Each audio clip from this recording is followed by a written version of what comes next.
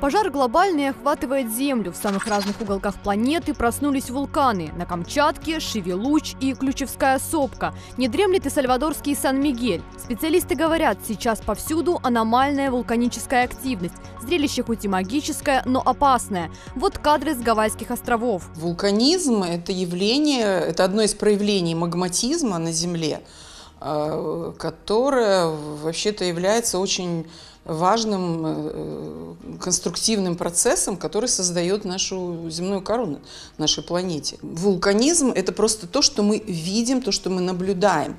А большая часть магматизма, она скрыта от э, глаз человека, потому что эти процессы, они происходят в глубинах земной коры. В Приднестровье от вулканов далеко, но так было не всегда. Когда-то и у нас земля превращалась в лаву. Приднестровье наше когда-то было ареной э, вулканической деятельности, но эта деятельность, она э, закончилась э, еще ну, примерно тогда, когда